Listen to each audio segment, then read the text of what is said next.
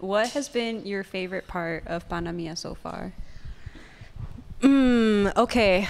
So my favorite part of Pana MIA so far, I think honestly has been this is cheesy, whatever. Um, it's been the collaboration. Yeah. Having Enrique and Sarah on.